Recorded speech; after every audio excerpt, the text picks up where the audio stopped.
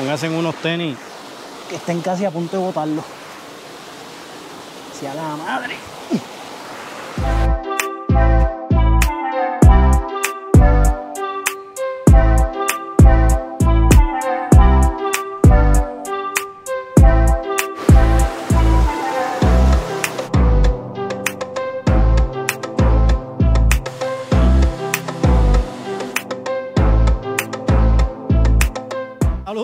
Muchachos y bienvenidos a otro video más de este canal.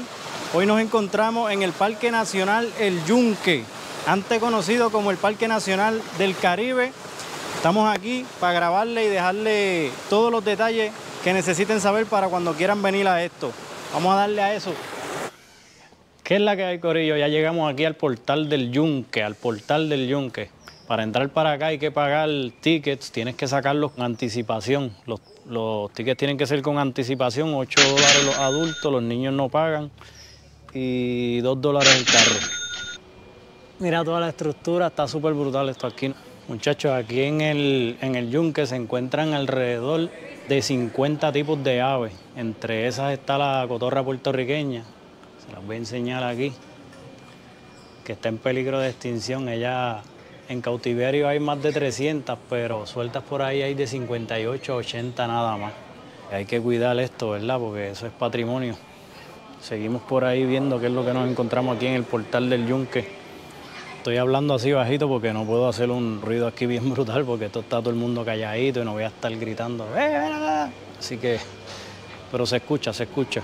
Y por cierto, el Yunque, el Yunque coge par de pueblos de aquí de Puerto Rico, están Aguabo, Las Piedras, eh, Canóvana, Fajardo, también está Río Grande, Ceiba y Luquillo, la Sierra de Luquillo, que son unos cuantos pueblos que tienen parte del Yunque, hay parte en cada pueblo de eso, la, la falda del Yunque, que no es solamente como que Río Grande, como que Luquillo, no, son varios pueblos.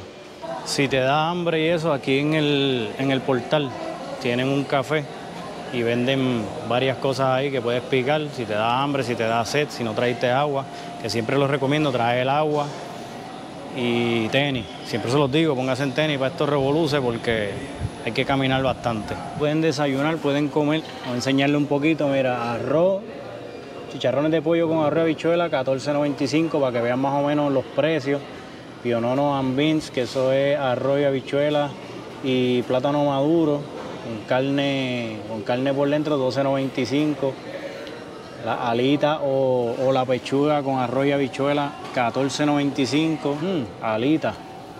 Las alitas, las alitas prometen. Esas alitas fritas, muchachos. Los aperitivos están rondando entre los 5.95 y 7.95. Así que tienen que tener eso en cuenta. O comen antes o saben que cuando entren aquí van a tener que que hacer los ajustes porque no es tampoco tan económico como, como afuera del yunque. Ahora les voy a enseñar aquí una, un arte que hizo Neymar Ramírez. Ahí, para ella el portal del yunque significó hacer desaparecer la distinción entre las personas y la naturaleza. Y ella demuestra con este arte cómo ha vivido la gente, ¿verdad? Dentro de, con, con la naturaleza. Por eso es que se ven así como que en forma de, personita, pero con ramas y plantitas por los lados. ¿Tú te imaginas encontrarte un camarón así de grande cuando esté en el río? Mira, muchacho, que salir corriendo. Esos son camarones de agua dulce. Y aquí te dice toda la información de cómo ellos emigran, ¿viste? escalando de represa. Hay un jueguito completo aquí para que ustedes se entretengan con toda la información del camarón. Era toda la travesía que ellos tienen que hacer te entretiene y vas aprendiendo. Esta es otra parte que está aquí en el portal del yunque. Muchachos, ahora les voy a enseñar un par de insectos. Son insectos que se pueden encontrar aquí en el yunque. Vamos a verlo. Tiene brillo el cristal, pero se ven ahí, mira, un grillo. El insecto palo, que ese es bien raro de verlo. Ese es bien raro. Una avispa cazatarántulas. Una avispa cazatarántulas. En mi vida había visto yo eso. Aquí tenemos esta que a mucha gente le gustan, las arañas pelúas. Araña boba. Son bobas, pero no parecen. También tenemos mariposa. El saltamonte. y escarabajo longicornios. Longicornios o long... sí, longicornios debe ser. Y este que viene en Coming Soon, este viene pronto, es un 100 pie lo que va ahí. Así que si te gustan los insectos, puedes hacer camping aquí en el yunque. No, en el yunque no se puede acampar, pero hay un par de insectos ahí que hmm, que tener cuidado. Aquí también se encuentran estas cositas. Mira, mira, mira, ¿tú ves cómo le prende eso? Las luciérnagas, aquí nosotros le decimos también los cucubanos. Y eso brilla por la noche. Es como estar en Avatar, te metes dentro del bosque y por la noche está todo eso volando por ahí con las lucecitas prendidas. Antes se veían más en los bosques y en los campos de Puerto Rico, pero con tanta construcción y tanta cosa cada vez hay menos. Pero aquí parece que hay bastante. Esto está bien cool, de verdad aquí aprende, en esta parte del portal aprenden muchas cosas. Mira, aquí también hablan de los... Tienes una parte que te habla de los reptiles, los reptiles que hay, que hay iguanas, anfibios, que están los coquí, que, oye, 13, especies, de ese coquí. 13, y para mí era uno nada más el que hace por ahí y más nada. Hay 13 aquí en el, en el yunque. También tiene vida acuática, eso es como una anguila, ¿verdad? Y unas cuantas cosas aquí que pueden aprender. Ah, mamífero, también hay murciélagos. Tenemos aves, que como les dije ahorita, que hay como 50 tipos de aves. Ah, mira, aquí dice que hay más de 100 especies de aves. Así que lo que dije ahorita, eso fue una brutalidad. Son 100 especies de aves. Esto está bien chévere aquí. Pueden aprovechar y vale la pena porque aprendes un montón. Cuando entren para acá, pueden, aprenden un montón. Vale la pena pagar los 8 dólares por persona. Aquí también en el portal van a encontrar un store. Tienen agua saludable. Y también tienen la tienda del portal que es como para souvenirs y cosas así. Aquí también te dan una orientación. Aquí, mira, el Bosque Nacional El Yunque, más allá de picos y mares. No sé si lo pueden ver, pero tiene, mira, las 11 a.m. en español, 11 y 20 a.m. en inglés. Duran 20 minutos solamente las conferencias. Ya salimos de, de la orientación esa, del visual que tenían aquí en el portal del Yunque, de verdad que bien recomendado te enteras de un montón de cosas que siguen sucediendo aquí, como que en el yunque sale el 20% del agua potable aquí de Puerto Rico, los picos, los árboles, la flora, la fauna, de verdad que bien recomendado, así que no dejen de hacerlo.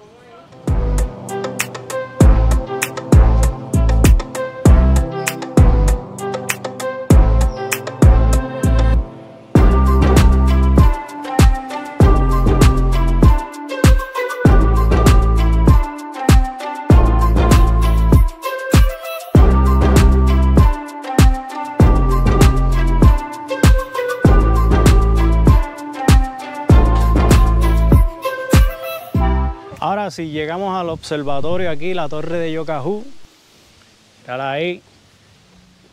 Saca. Vamos para allá arriba.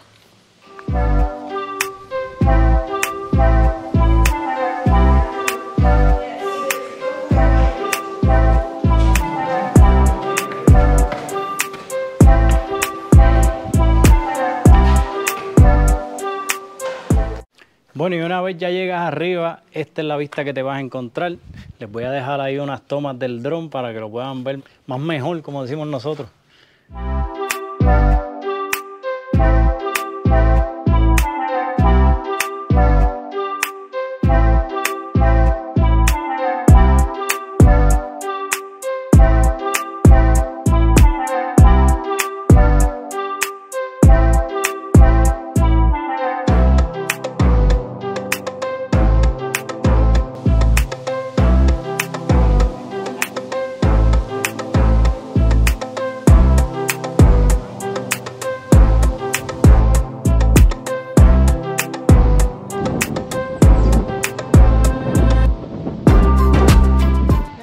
Que si vale la pena subir las escaleras, claro que vale la pena. Hay que subir unos pocos de escalones, pero cuando llegas arriba la vista está chévere. No lo dejes de hacer. Seguimos. Ahora sí llegamos a los baños grandes, al baño grande, los baños grandes. No es que es un baño bien grande, es un trail que hay por aquí, un camino. Vamos por aquí subiendo. Vamos a ver qué nos encontramos allí al final. A lo mejor hay un baño bien grande allí, vamos a ir y hacer su No, no, no, dejen el relajo. Miren esto como está aquí, eso está lindo. Wow.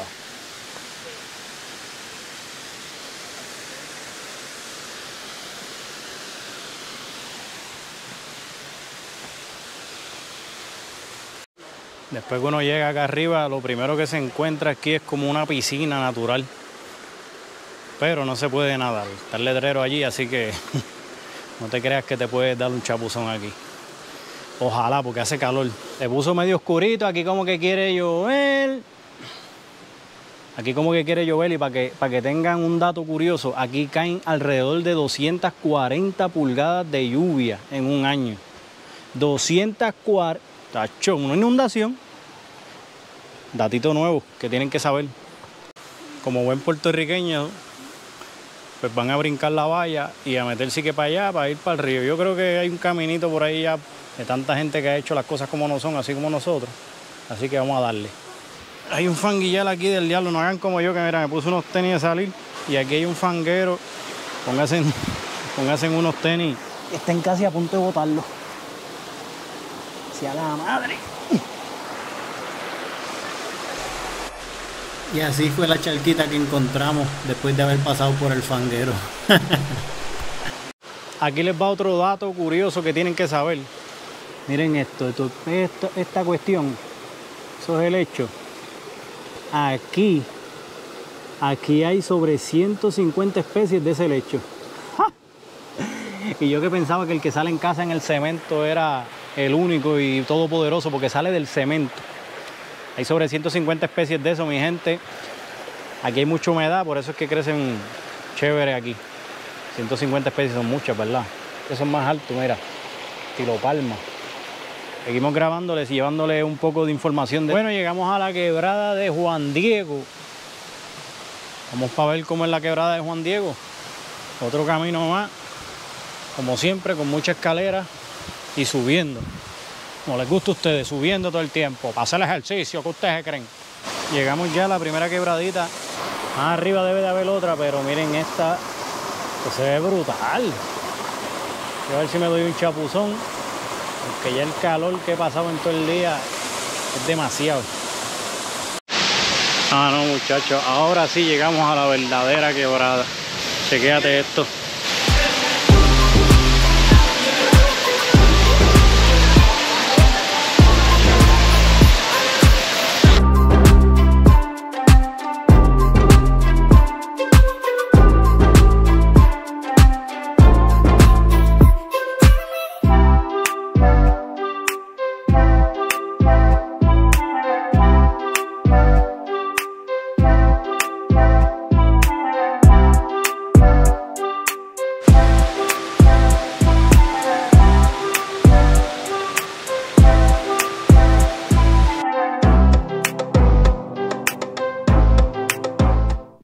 Bueno, seguimos en la ruta. Ahora llegamos aquí a MT Briton o MT Briton, no sé. Estamos por aquí más o menos. Tenemos que caminar todo esto, todo esto, todo esto, todo esto. Y se supone que aquí hay otra torre. Vamos a ver si la encontramos. Vamos a darle otro dato para que lo tengan ahí. Esta es la atracción turística más visitada en Puerto Rico, con sobre un millón de personas al año. Sigue apuntando para que nadie te coja desprevenido. Y en el mapa se veía una línea ahí, ti, ti, como que fuera cerca. Hay que caminar bastante y prácticamente todo el camino es subiendo. Así que preparen esas patas. Las piernas, las piernas. Habla con propiedad, mi gente. Vamos a seguir por aquí, mira. Oye, no es relajo cuando les digo que es bastante el camino. No sé cuántos minutos llevamos ya subiendo, pero son un par de minutos y subiendo. Ténganlo en consideración. Aunque bien el camino que hay unos gasevitos para descansar, por lo menos vi uno, uno, no sé cuántos hay de aquí a allá, pero hay un gasevito allí para que se den una descansada, beban agua, se beban una cerveza, lo que tengan ahí en el bulto y sigan por aquí para arriba.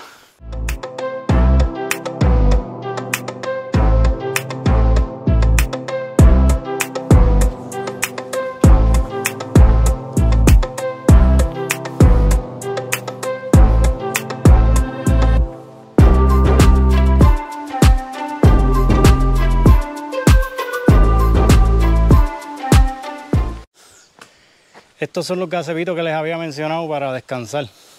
Nosotros nos cogemos un break. Oye, me puse a escuchar los videos y yo estoy respirando duro. Dame cogerme cinco aquí y seguimos ya mismo. Después que sales por aquí, por esta escalerita que está aquí, te falta toda esta jarda, por ahí mismo. Esa jarda y otro camino más, así como el que estábamos pasando. Así que no cantemos victoria todavía. Yo que pensaba que habíamos llegado, me cago en la madre. Oye, se me había olvidado decirle que estamos estrenando micrófono nuevo. 10-4, ¿lo escuchan? ¿Se oye bien? ¿Cómo está la cosa? ¡Uy! No sé si se lo pueden apreciar aquí en la cámara, mira esto. Y ya, diablo, qué neblinal. Son ahora mismo, les voy a decir la hora que es. Son las 3 y 22 de la tarde mira cómo está esto aquí, mira, mira. Bueno, al parecer este es el otro tramo que hay que correr de camino. Vamos a seguir por ir para allá. Y para que tengan una idea, también es subiendo, ¿ok? Tengan eso en cuenta que hay que tener una condición chévere o si no tal, de poquito en poquito, descansa, otro poquito, descansa, otro poquito y te puede tomar, qué sé yo, como 40 horas por subir y bajar. Así que ya saben, aquí llegamos otro gaseo. Oye, tiene como una chimenea y todo, mira la cosa esta. Oye, les voy a dar un tip, no se salgan de los caminos, mano, porque aquí han venido un montón de turistas y se salen del camino y se pierden y después están dos o tres días por ahí por ese monte perdido, que ese monte es grande, era ahí no, hay, si te sales del camino no la vas a pasar bien. Así que mantente en la vereda, caballo. Vemos la luz. Digo, no vemos la luz, vemos un túnel. Debe ser de la torre, vamos para allá. Esta es un poquito más bajita que la otra, pero está bien arriba localizada, la localización es bien alta. Por eso no necesitaron hacerla tan alta para que tú veas una vista violenta. Vamos por aquí. ¿En qué año hicieron esto? Parece un calabozo de esos de cárcel. Todo está miedo. Voy a decirle que yo nunca había venido para acá, ¿viste? Never. Es la vista cuando tú subes. Neblinal del DH. Ya la madre. De verdad que pues no podemos hacer nada con el clima. Esto que acá arriba está neblina, neblina por donde quiera que tú miras. Yo que le dije a dar un videito ahí con el dron, una cosa bien violenta que dijeran, diablo, Charlie se botó haciendo este video. Pero no podemos hacer nada con el tiempo.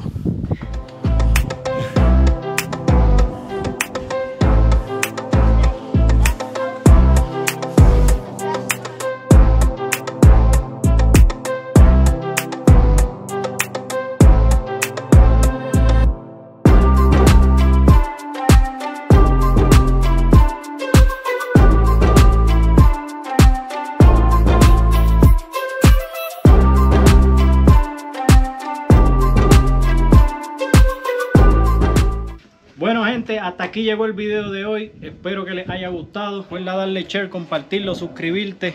Nos vemos en el próximo.